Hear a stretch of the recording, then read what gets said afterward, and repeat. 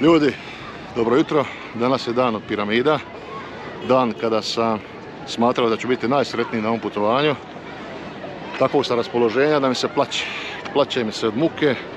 Prvo kad vidim da je civilizacija krenula unazad od faraonskog doba, kad vidim ovu najezdu skakavaca, bez respekta, bez poštovanja mjesta gdje su došli, da tisuće ljudi već najranije ujutro 8 sati. Ali šlag na kraju svega, dolazim dole na checkpoint, kupio sam Cairo Pass pri samom dolasku u, u Cairo, kontam, svudje ću ući bez čekanja reda i garantirano mi je sve. Ništa nije bilo garantirano osim neplaćanja nove ulaznice. Opet sam čekao u redu i najveći šlag na kraju je bilo da ne mogu ući s profesionalnim aparatom unutra, profesionalnim u navodnike za njega, državnog službenika koji profesionalnost određuje veličinom nečega. Ja mu objašnjavam, budala ja, da je, današnji, da je većina današnjih mobitela bolja od mog aparata, ne ide. Tako da se osjećam, evo, na piramidama sam, treperilo mi je srce kada sam dolazio ovdje, sad imam osjećaj da bi bio uzbuđeniji da sam u Prugovu di na Gumnu, u Lečevici moje dole. Eto, narađe bi otišao čak. Naravno da neću, idemo s druge strane opali koju fotografiju, ali ova najezda turista, ovo je, katastrofa, katastrofa.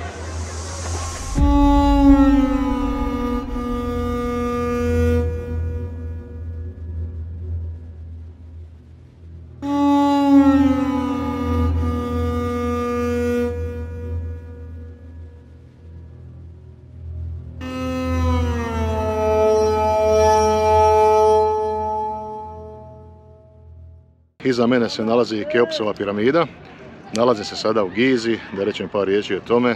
Giza je predgrađe današnjeg Kaira i 5000 godina staro po egiptolozima i službeno povijesti staro mjesto mjesto ukopa egipatskih kraljeva, mjesto piramida. Službeno se drži da je Keopsova piramida nastala u vrijeme vladavine istoimenog faraona iz starog kraljestva, negdje oko 2500 godina prije Krista. Ona nije jedna od najstarijih, ali je najveća piramida sa svojih 147 metara, falijom gore vrh.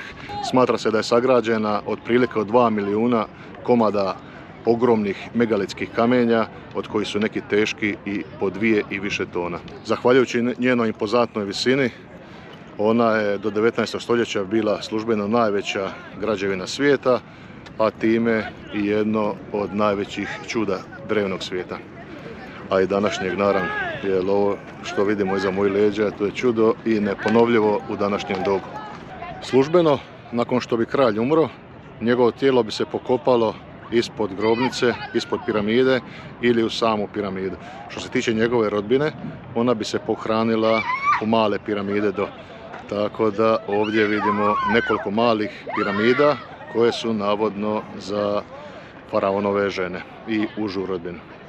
Keopsova ili Velika piramida kako je još zovu je imala svoj originalni ulaz. Danas je on zatvoren, a posjetitelji ulaze u ulaz koji je 820. godine napravio kalif Mamun e, sa svojim radnicima. Zapanjujuća je preciznost izgradnje Keopsove piramide. Naime, odstupanje u dužini njenih svih četiri stranica je tek 4 cm. Što je za ono vrijeme, mislim da vam nemam šta reći, ono, to je nevjerojatno. Savršeno je poravnata prema stranama svijeta, a i to još nije sve. Alternativni istraživač i knjiženik Graham Hancock tvrdi da su piramide zapravo nebeski preslik precesije sazvježđa Orion i da su savršeno poravnate po tom zvježđu iz vremena od 10.500 godina prije Krista, što znači iz vremena otprilike Gobekli Tepea. Kako god bilo, složit ćete se sa mnom da je ta priča intrigantna, zanimljiva, misteriozna, pa bilo sad samo njihova želja da, da oni svog kralja približe bogovima ili nešto puno više, Složit ćete se, ovo nije bilo tek tako lako sagraditi. Ljudi su pokušali na drevni način napraviti replike male, deset puta manje od piramida, ne ide. Pokušali su napraviti veće sa najsuvremenijim uređajima, strojevima, niti blizu.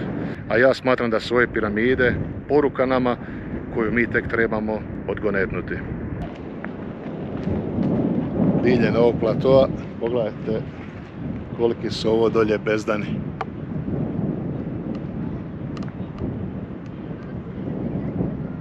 Nekoliko desetaka metara dubine, dalje ne vidim jer je sve crno, ko zna koliko je duboko. I tako na svakom koraku nalaze se ove šupljene. Ovo je mravinjak ispod zemlje koji treba baš istražiti koji nije još niti 50% istražen. Jako, jako, jako puno toga ima. Pogledajte.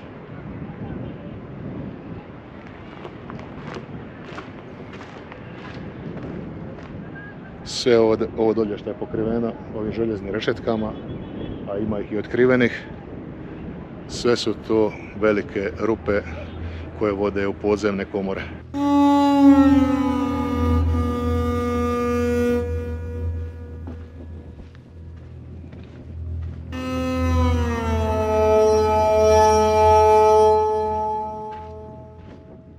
Nasuprot Keopsove piramide nalazi se Kefrenova piramida. Ona je također datirana službeno negdje između 2558. i 2538. godine prije Krista, naravno, staro doba Egipta. Ona je na izgled veća iz određenih kutova od Keopsove, ali nije, u stvarnosti je 3 metra manja. Ali ono što je zanimljivo, na njenom vrhu se vidi oplata od vapnenca, tako su u originalu zapravo izgledale sve piramide dok ih nisu islamski vladari oštetili, e, uzeli taj materijal za gradnju islamskog Kaira. Sad ih zamislite tako velike, grandiozne, e, presvučene oplatom od bijelog vapna koje sjaji na suncu. Evo ovi nesretnika što urlaju za mene, kako ih samo pljačkaju ovi, prodavaju im priče da se ovo ne može obići pješke. Ja sam već obišao cijeli kompleks ono dva puta okolo pješke i nisam popio pol litre vode. Ono. Da, 150 pounds for you, my friend. Spustit ću se ja prvo do Sfinge dole, pošto mi sunce tako okrenuto, najbolje ujutro, masu, masu ljudi, ovo je prestrašno. Spustit ću se dolje, pa fotografirati što se da fotografirati i palim dalje prema ostatku piramida i zaokružiti tu turu i završiti je za danas. Previše ovo ljudi i za moje živce i za moju psihu i za moj mir.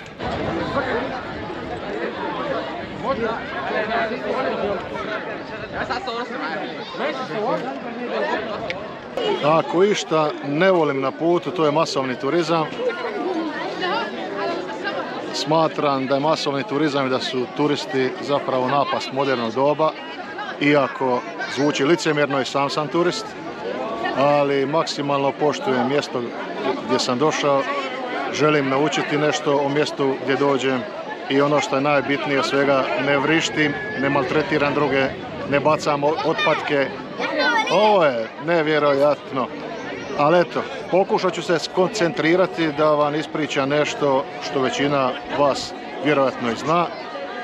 Iza mojih leđa je svinga. Egiptolozi smatraju da je ona stara nekih oko 2500 godina, da pripada dobu faraona Kefrena iz starog egipatskog doba.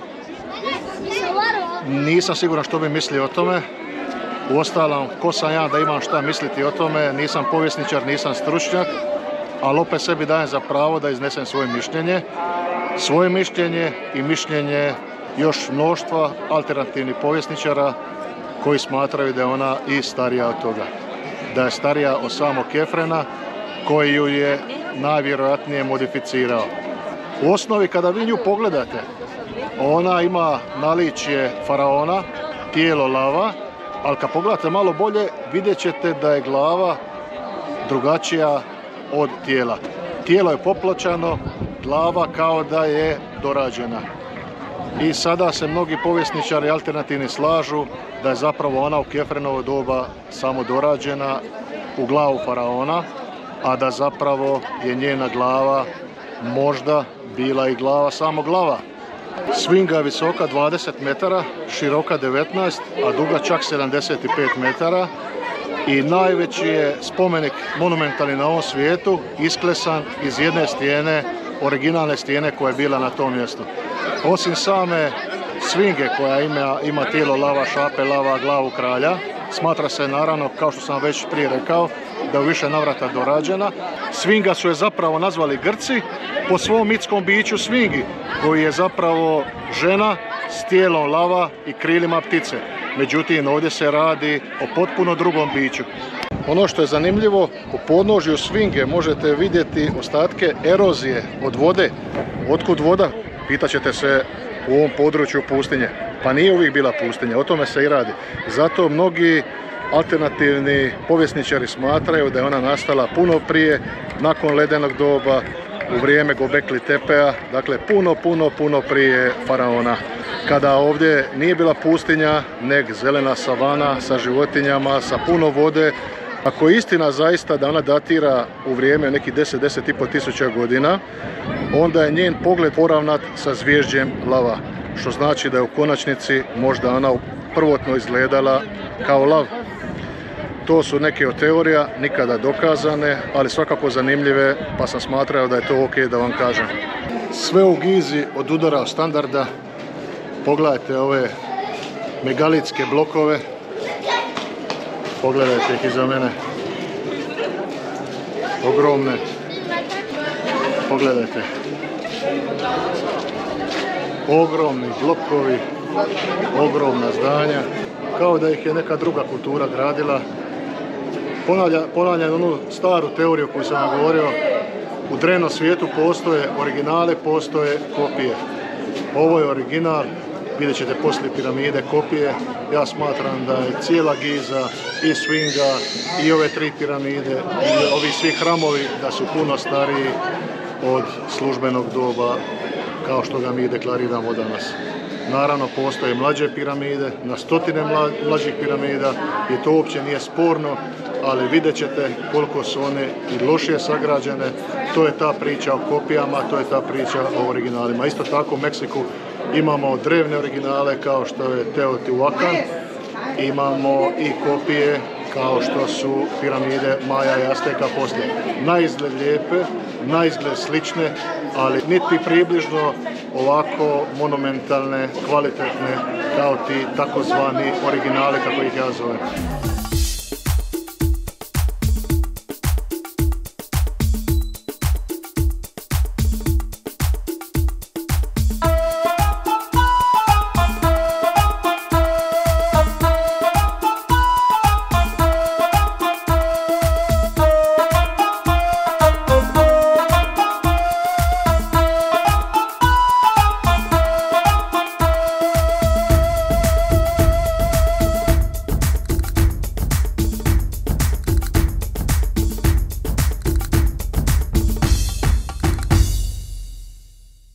Ovo što vidimo iza mojih leđa je Mikerinova piramida.